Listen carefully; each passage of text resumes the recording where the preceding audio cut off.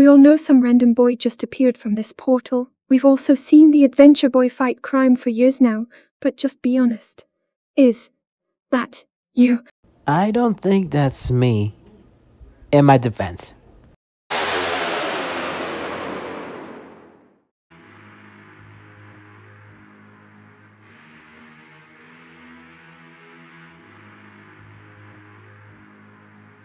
Alright, obviously middle school was an absolute disaster.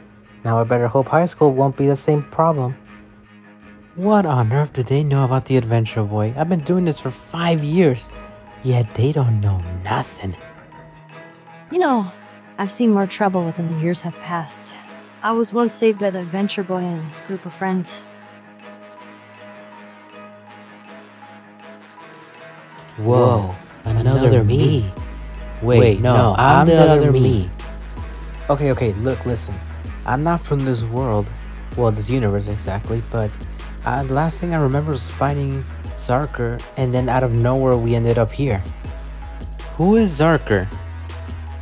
Zarker is basically your version of Exterior, but he's from my world. It, it, it's it's a long story, honestly, but I don't. I'm still curious on how I got here because the last thing, like I said, fighting him out of nowhere, we ended up portals separating each other here. Also, I usually break the fourth wall, but for some reason coming here is not letting me do so. I need to find a way to get back because I don't understand what my purpose being here is.